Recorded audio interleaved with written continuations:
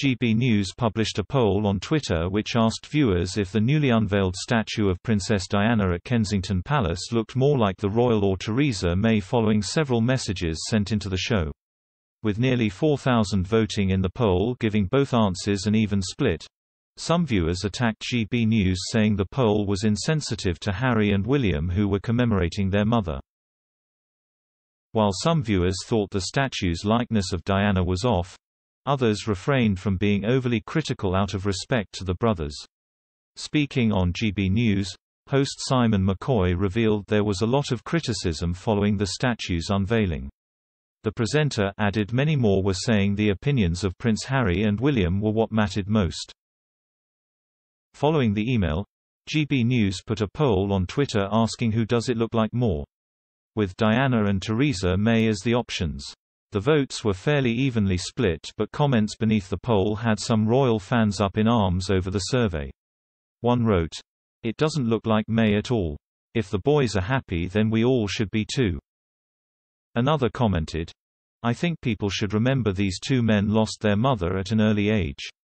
The trauma of having to walk with their mother's coffin in front of the world while maintaining their emotions must have been devastating for them, especially Harry. I'm sure they bear the scars. One viewer wrote, The statue looks great and shines a light on family values and caring for others. However, while many rushed to defend the statue and Prince Harry and William there were also some who criticized the artwork.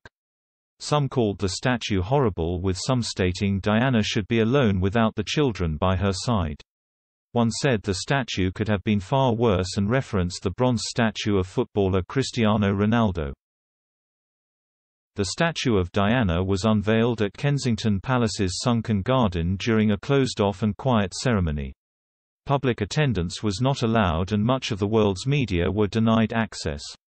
Prince Harry and William were closely watched by royal pundits for any sign of reconciliation or tension following their rocky relationship over the past year.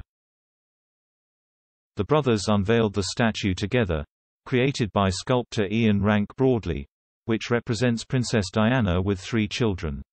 Harry and William published a joint statement on the day which read, Today, on what would have been our mother's 60th birthday, we remember her love, strength and character, qualities that made her a force for good around the world, changing countless lives for the better.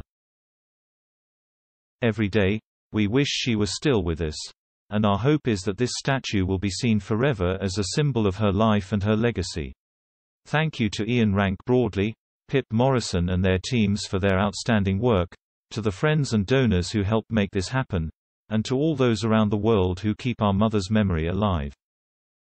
Many royal family members, such as the Queen, Prince Charles and Kate, the Duchess of Cambridge, did not attend the event.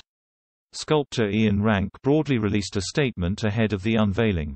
He said, Diana, Princess of Wales was an icon who touched the lives of people right around the world. So it has been a privilege to work alongside Prince William and Prince Harry on this statue which commemorates her life. We wanted to capture her warmth and humanity while showcasing the impact she had across generations. I hope that people will enjoy visiting the statue and the sunken garden and taking a moment to remember the princess.